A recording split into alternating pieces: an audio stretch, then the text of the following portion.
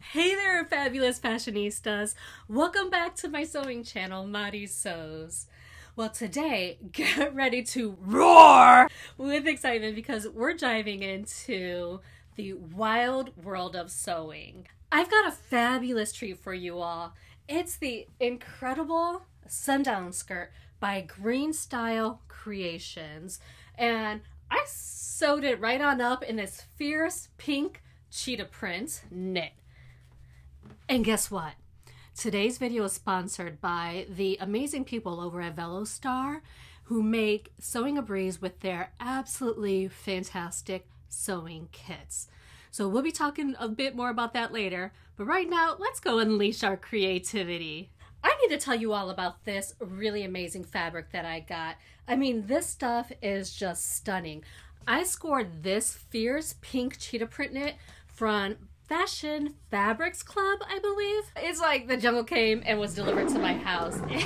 it's just so wild. I absolutely love this stuff. Now, this stuff recovers like a dream. I've already worn it several times. Let me know down in the comments if you like unleashing your wild side with animal prints like I do. now, let's talk about the pattern. So this pattern is a sundown skirt by Greenstyle Creations. And you all, it's just a really versatile and flattering pattern. It's a flattering skirt that gives you a beautiful silhouette and it's just looks so sleek. I mean, even cheetahs get jealous at how sleek this looks. this pattern is like magic. It just flatters all body shapes and sizes as you can see in these pictures here. Now, Greenstyle really does do a great job with nesting their pattern sizes so that you can easily blend from one size to the next.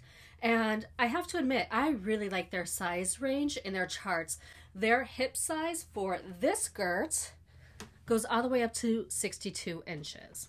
Before we jump into the tutorial, let's just take a moment to thank our amazing sponsor, Vellostar. Their sewing kits, it's you are they're a lifesaver and i really mean it. I use these all the time from threads to needles. It has everything a sewing enthusiast needs. And the best part well it comes in a really cute compact carrying case and you can add whatever extra little things you absolutely have to go. It is perfect for sewing on the go. I like to add large shears, sewing machine thread and needles, and a seam gauge to my kit to make it just extra handy. This kit comes in three different sizes, and I have to admit, I like to keep this really small one in my work bag because um, it helps me when I lose buttons, which for some reason happens often. But today I'll be using this large kit to make my skirt. If you'd like to get a sewing kit for your own, check out the information box and there's a link over to the Amazon site where you can order this. Thank you, Vellostar, for making my journey here perfect. Get it, cheetah? All right, it's time to unleash the serger and our sewing machine.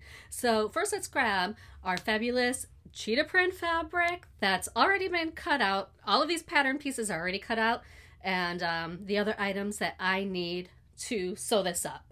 Now I'm going to construct this, so let me grab the items that I actually need to make that happen. And because this is going to be done on my serger, I'm just going to use these small scissors from my Vellostar kit. I'll need that.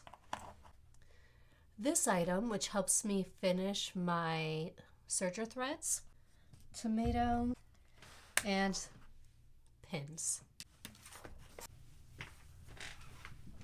I'm going to line up my backside with the front or vice versa here and pin it along the side or you can use the sewing clips.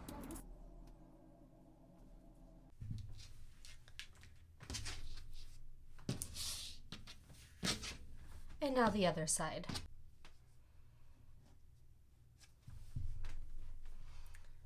Now I'm going to serge both seams.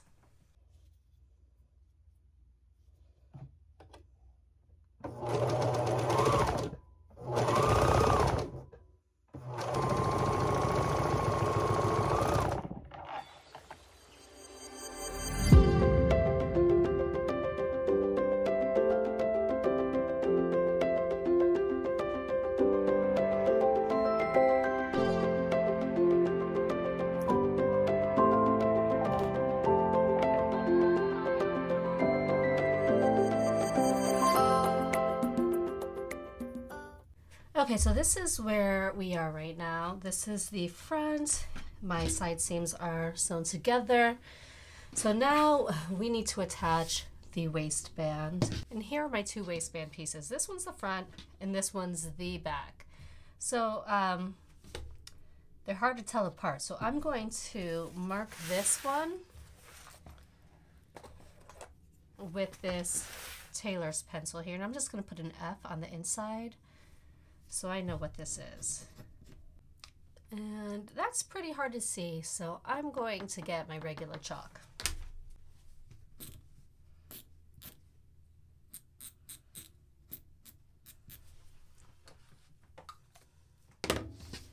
Okay, so I put an F on the piece that is the front.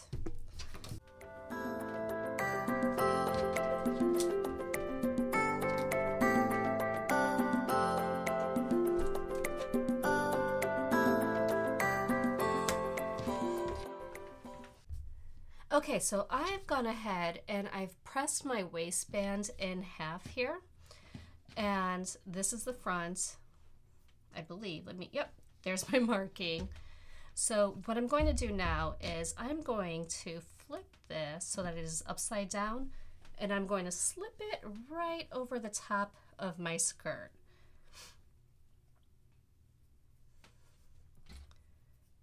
And I'm just going to use the sewing clips that came in my kit. So first I'm going to do both sides.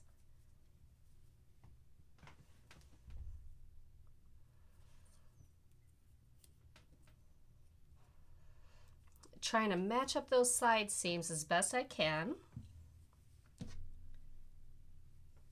Then stretch it just a bit so you can get an idea for where the middles are. And this stuff likes to roll, so I need to keep grabbing it from down in there because you see how it's rolling? I need to make sure that they're all lined up when I actually do so. Okay, flip it around. And then on this side, I'm gonna use two pins. And I'm gonna leave a gap of about roughly three inches so I can get my elastic in.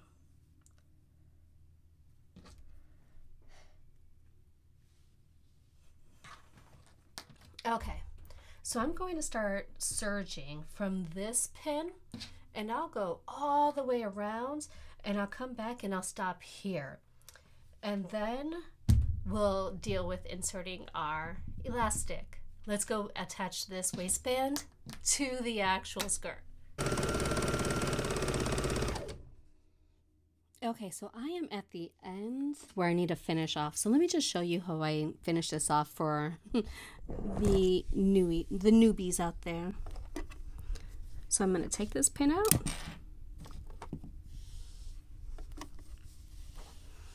I'm just going to slide it over like this. And that's what it looks like. So now our waistband is attached. So I'm going to go ahead and press my seam allowance down so that it's facing the wrong side of the fabric there. And then we can add our elastic. So now we need to put our elastic in our waistband. So I'm going to attach a really big safety pin to one end of my elastic. And then I'm going to locate the area where I left the actual opening here. And make sure that you're putting it in the opening where the waistband is. So I'm just going to put in my elastic all the way around.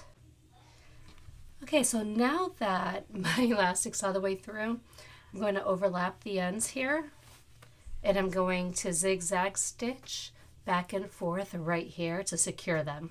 Now I've sewn my zigzag stitches on there. I'm gonna just suck it back in there adjust my fabric. So I'm going to fold this back down and I'm going to line up all these edges again.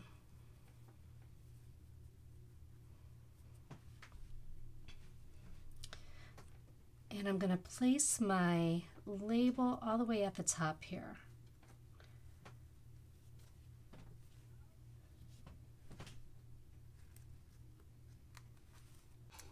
So that's what it looks like. And now I'm going to go ahead and serge this closed. Okay. So now that I have that in, I'm going to need to give this a little press to make sure that it's laying properly. And just because I want some fun top stitching on the waistband, I'm going to add two rows of straight stitches with lengthened stitches and I'm going to stretch it as I'm sewing so that way I just have some nice decorative stitches that well actually serve a purpose. They help keep my elastic from twisting around. So I am going to do that right now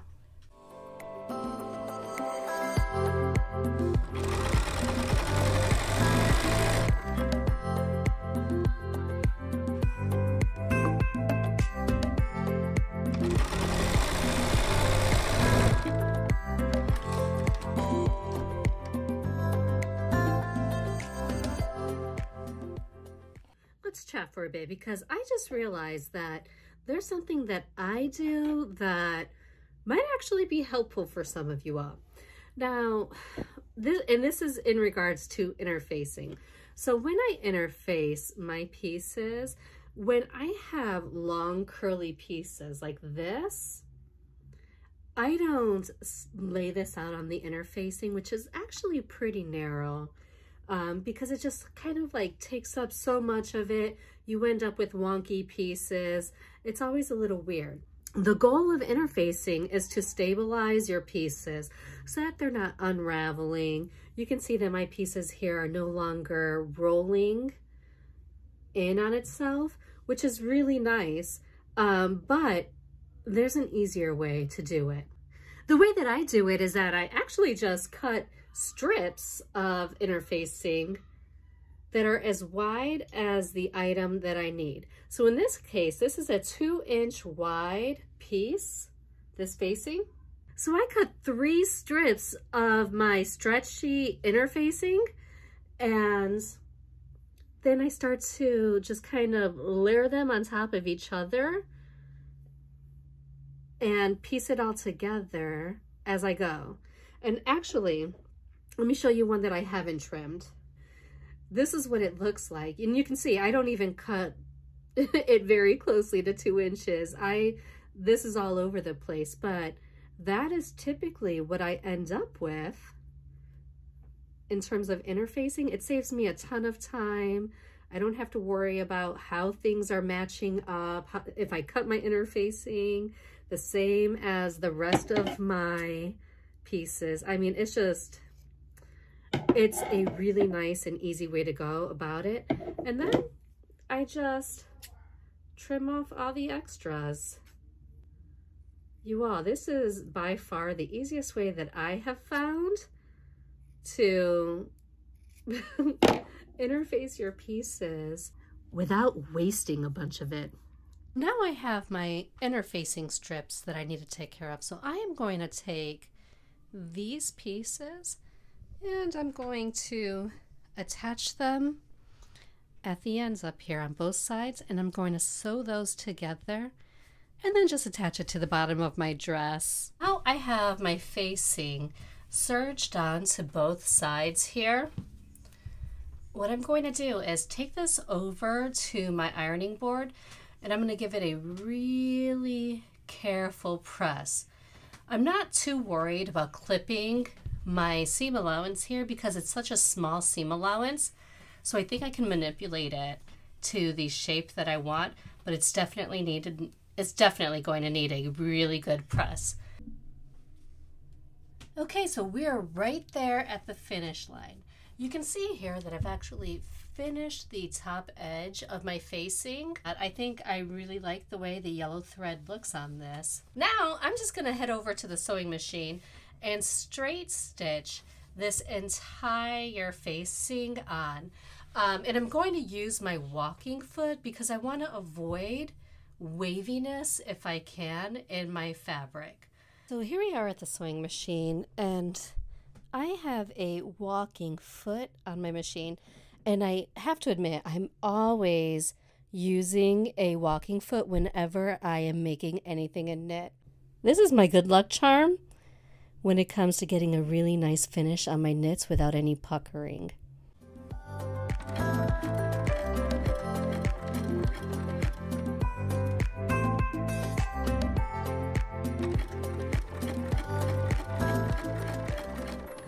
And when it's all pressed out, you can see what it looks like. It's so nice and flat. I'm telling you all, if you are sewing knits and you don't have a walking foot, you are definitely missing out. I mean, it's like, it is the best weapon that you have against rippling, moving, slinky fabrics. So this is the final skirt, and let me show you all what it looks like on. You all, this sundown skirt is so comfy and stylish. It's like wearing a cloud made out of cheetah hugs. But I hope cheetah never really tries to hug me. Overall, for this pattern, I felt like the instructions were very clear. And I really do feel like this is a beginner serger project for anyone who would like to give it a go. If I can sew this, you all definitely can as well.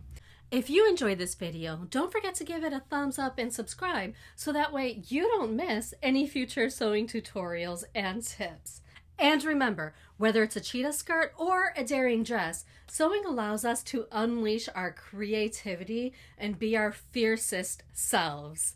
So until next time, keep sewing, stay fierce, and love yourself unapologetically. And check out this video right over here. Bye!